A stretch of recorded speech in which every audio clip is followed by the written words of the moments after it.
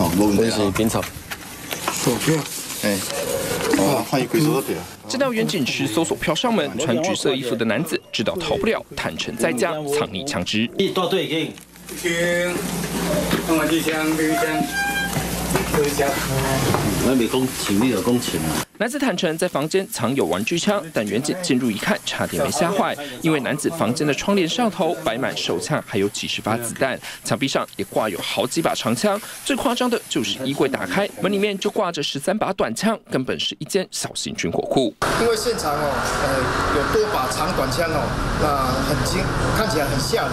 那经过我们检检验之后，初步见识是也也是有杀伤力的情形。你知道这是钱？应该是麻将的那个呢。没有了，那这个是自己改的吧？自己改的。